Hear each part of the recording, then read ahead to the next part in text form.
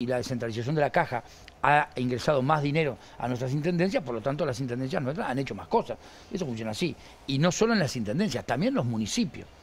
Los alcaldes han tenido la posibilidad, en las ciudades que tienen alcaldía, también de desarrollar mejor este, política eh, de gobierno en cada lugar de eso. Yo tenemos cuatro alcaldías allá, ahora vamos a tener en la próxima cinco seguramente.